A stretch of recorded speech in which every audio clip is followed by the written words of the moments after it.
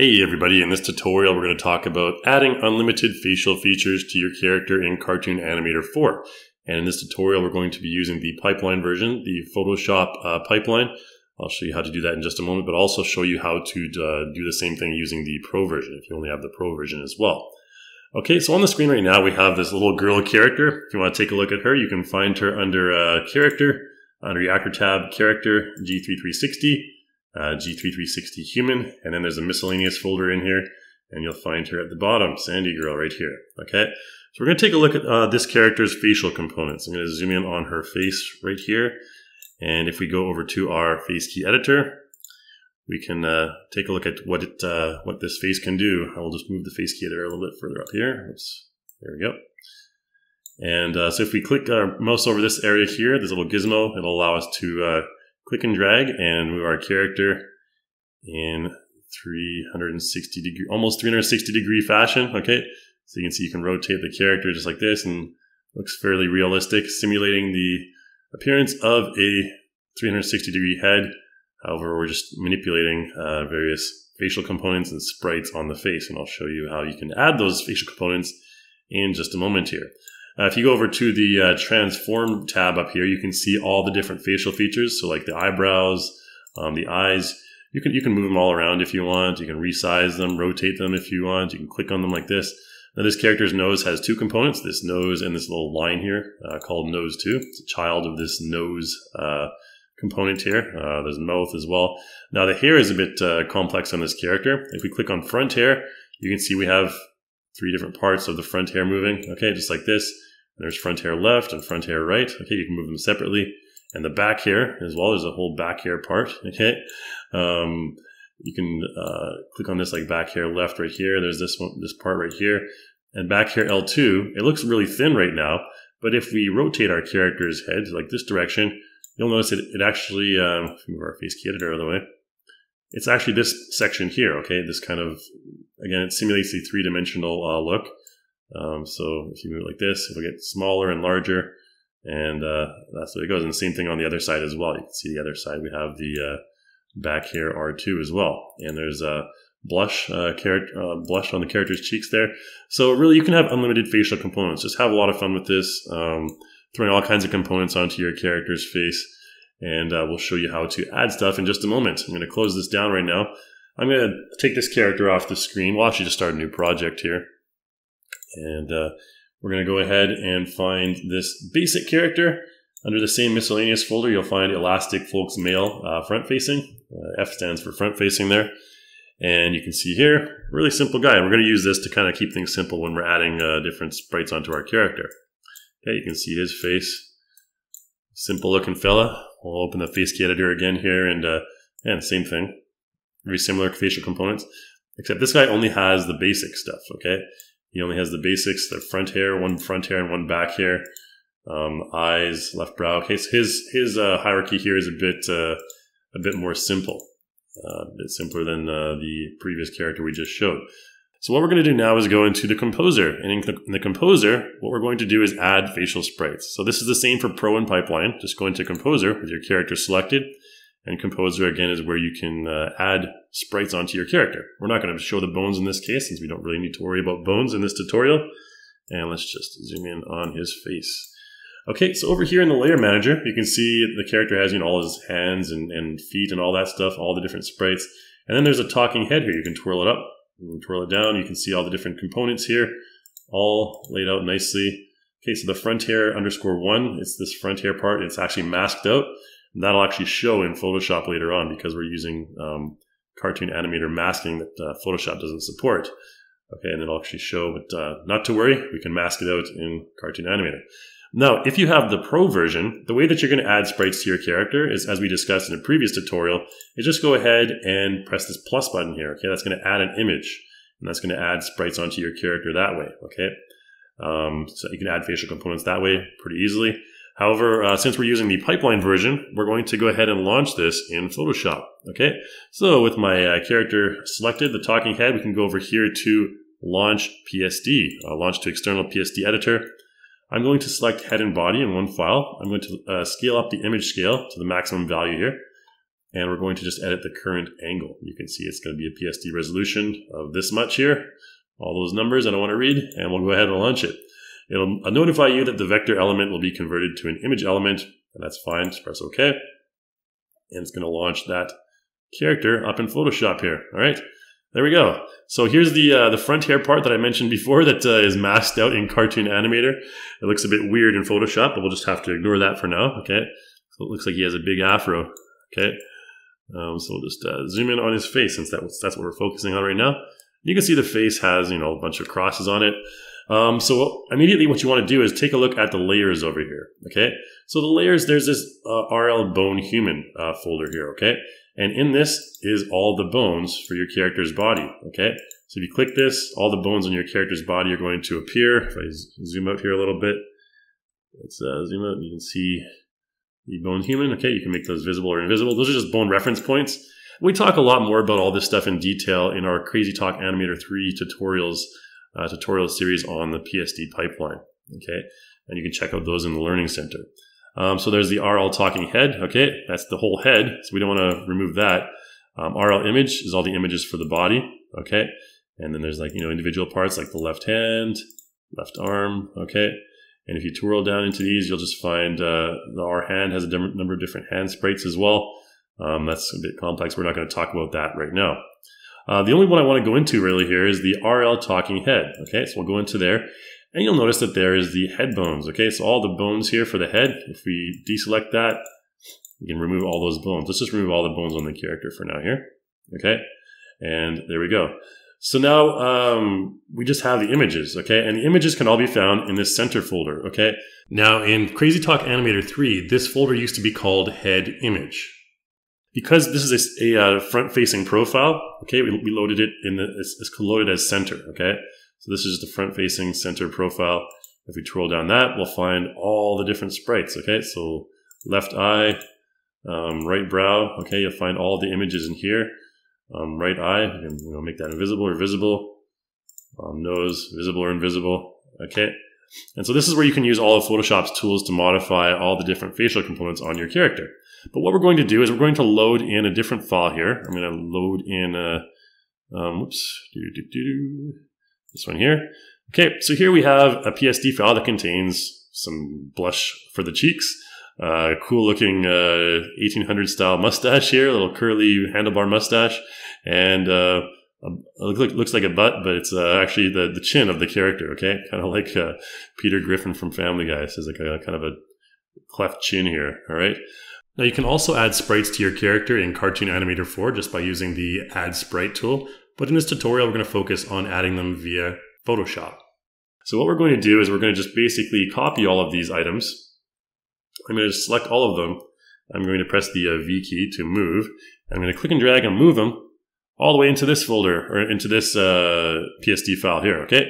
I'll just place them on the character's face and you'll see, boom, those will appear under our uh, center folder here as their own individual parts. Okay, and you can make them visible or invisible. All right, so what I want to do here is I want to just kind of position these relatively, you know, uh, the way that I want. Chin, we'll just take the chin and kind of move it down here. Um, the mustache, click on the mustache and bring it down, cover most of the mouth there. And those those blush cheeks, we need to put those in proper position as well. Maybe something like this would be okay. And uh, the right blush, bring that down as well. Maybe try and, uh, you know, align it with the one on the right there. Okay, just like that.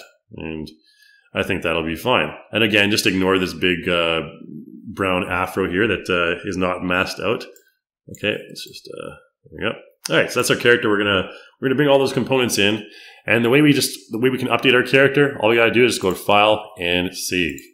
Okay, and when we save that, it's to update automatically in Cartoon Animator, and we can go ahead and close Photoshop down, and you can see it's updating right now. All right, so there's the update, and our character is complete with a mustache. However, uh, like in the previous tutorials, we need to make sure that the facial components are aligned at the different angle points for the 360 head. Okay, so we're going to go ahead and launch it in, uh, launch our 360 head creator here. And of course, we need to make sure that the, all these are aligned here. Okay. Now I'm going to go ahead and just leave the uh, the layer order like this because I think it's fine. In some situations, you may find that your your layer order needs needs to change a little bit. Maybe you want to put your nose above your mustache or, or you know something like that. Um, you can go ahead and do that. I'm just going to leave it the way it is right now, just for simplicity's sake. Okay. So when we select like a different angle uh, point, like the left one here, we need to move all those facial components. So I'm going to move the cheek over here, this blush cheek over here, and our mustache, to move right here. And the uh, chin, we're going to move that over here as well, and we're going to just uh, rotate it just like this, okay? And maybe make it a tiny bit smaller, okay? Just like that should be fine and dandy, okay? Um, you can also use the uh, deform tool to kind of just, uh, let's use a two by two here. And you can adjust the perspective slightly of, uh, you know, different uh, elements. We're definitely going to need that for the mustache here, okay? So for the mustache, if we just, uh, you know, take these parts down here, let's uh, actually just not use this one. Let's use the uh, Control Z that. Let's use the perspective one. This is more useful for this type of uh, work here. So you can click and you can change the perspective just like that. And then go to transform and we'll just make it, you know, a lot, since he's kind of facing to the side now, we'll have to make it thinner like that. Okay. And I think that'll be a good position right there. And I think everything else looks fine and dandy. Okay. Uh, for the cheek and the eyebrow, we can, we can mask out the eyebrow or we can keep it like that. It doesn't really matter. All we got to do here is go to uh, mask, okay, mask or unmask, okay. It's like this, and we can do the same thing for the uh, the right brow here as well, okay. And we'll go from there. Okay, so that's the one angle. Then we need to do the uh, the other two, uh, the other four angles actually. So the bottom left here, I would just do the same thing. Basically, place the mustache there. Let's make it a bit uh, thinner. Okay, just like this. Um, and we can possibly rotate it slightly as well and deform with perspective. Let's bring that uh, side in like that. And let's put our, uh, our chin here in the position. Just down here. And that's going to be a bit smaller at that angle. Okay, and just going this slightly. And we need to put those blush blushes in the right place as well. Okay, she blushes just like that. All right, and then same thing, upper left. And we're going to mirror all this in just a moment here. You may, you may be familiar with mirroring, as we did in the uh, previous tutorial. Um, let's just kind of put all this stuff into uh, position here. Rotate it slightly. And you can see here that uh, although it's masked, the uh, the blush is getting in the way of the mustache. So that's something that you want to avoid. Okay, just uh, make it thinner here and deform, just like this. There we go. And let's move up a little bit there as well. All right, and we need to make sure that that uh, right cheek there is not in the way of our mustache. Let's move our uh, our butt chin up here a little bit and uh, rotate it like this. This is going to be smaller here as well, just like that, and possibly rotate a little bit more. And I think we're going to be good at that angle there. And then we just need to do the up and the bottom, or the up and down rather. Okay, so this one like this. Okay, now in this position, we probably don't want to mask the eyebrow. So let's take that eyebrow and uh, unmask it. Okay. And bring our mustache up as well. There we go. And our uh, chin up like that. That's looking fine. And of course, here you can see that the problem here is that the mustache is now behind the cheek blush. So what we want to do here is we want to click and drag this mustache and click and drag it up a layer like that. Okay, so it's in front of the, the cheek. And you probably want to do that at all the angles here as well, because the mustache always needs to be above the uh, the uh, cheek or the blush, whatever you want to call it. Okay, just like that. And bottom. And every um, profile angle you want to have your character, the uh, this one looks pretty funny. Uh, you want to have the mustache in front of those uh, those cheeks here. So let's take this uh, this chin down here and probably uh, flatten it a little bit, a little bit smaller there. Okay, so this one should not be not be as noticeable. the mustache down. Okay, and the uh, blushes again, the cheeks are right here. And I think we'll uh, we'll go from there. Just bring that mustache down. All right, I think we're good to go. So let's go ahead and preview this and take a look at all the angles. So I think looking okay. All right, just like this. And Looks looking good to me. Okay, so what we want to do now is we want to mirror that to the uh, to the other side. Okay, so let's take the preview off here, and just go ahead and select the uh, left angle profile angle point here first, and just go up to mirror.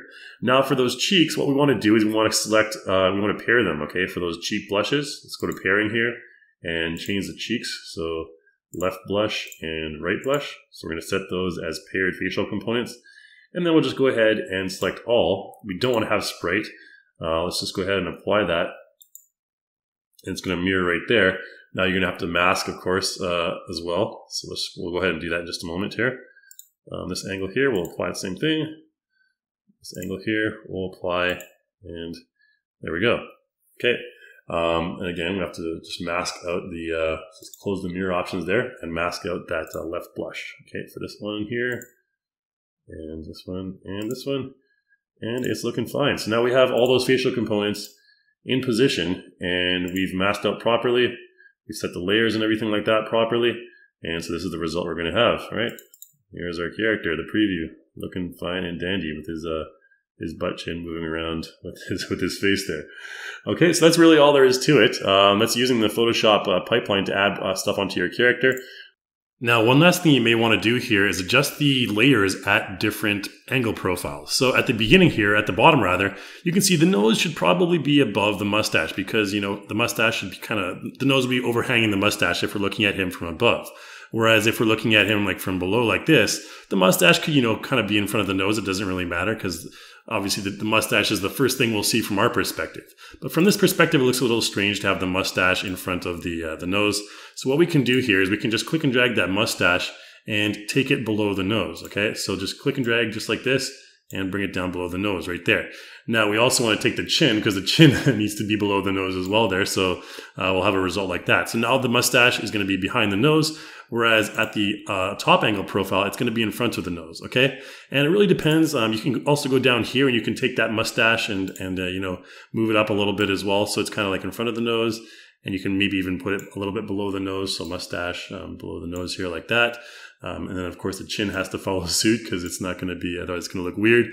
So you could have a result like that as well. And, uh, you know, from the up from the top angle, um, we'll just keep the mustache in front of the nose since we're looking at it from a kind of a different angle. And then if we uh, mirror that one more time, so we'll have to just go ahead and mirror from here. And this time we're going to make sure we have layer on selected. Okay, so just like this. And it's going to keep that same layer. And then from here, um, we'll just go ahead and apply the mirror one more time, and it's going to mirror uh, below the uh, nose there as well. Okay, so then if we preview, you can see down here, the nose will kind of go in front of the mustache, which is the result that we want. Up here, the mustache can kind of go in front of the nose since you know, it's kind of a nondescript nose, all right? But uh, that's how you can uh, change the layers from different angles there as well, okay? So from here down to here, the nose will be in front of the mustache, okay? Since that's the perspective we're looking at. All right, so that's really about all there is to it, guys. Um, once you're finished uh, with all that messing around, you can go ahead and uh, close down your 360 head creator and we'll go back into uh, stage mode here. Now, keep in mind that when you go back into stage mode, it's going to uh, sever that connection with Photoshop. So you won't be able to save automatically um, from updates in Photoshop anymore. You'll have to reload the character and relaunch him in Photoshop again. Okay, so let's take a look at a quick uh, animation. We'll go over here to our content manager, into our animation tab, into perform G3360. And there's one down here. Um, where is it here? Called uh, Roger Positive. Let's go ahead and double click that and apply it to our character. Yes, sir. Pancakes coming right up. All right, so you can see the nice results with the uh, facial animation. We'll play yes, back one sir. more time. Pancakes coming right up. All right, and we can you know zoom out a little bit if we want to kind of see the entire uh, body as he gets in motion there. Yes, sir. Pancakes coming right up. Kind of makes me hungry for pancakes. Anyways, but that's about it for this tutorial, guys. Uh, thanks so much for watching. Hopefully you learned a lot here in, uh, on how to uh, add different layers onto your character in Photoshop, uh, modify them using the 360 head creator, and uh, all sorts of different ways you can customize your character's uh, face by adding unlimited sprites, unlimited facial components um, to your character. All right, so again, thanks so much for watching, and make sure you check out our forums over at forum.reallusion.com, and I hope to see you in the next video.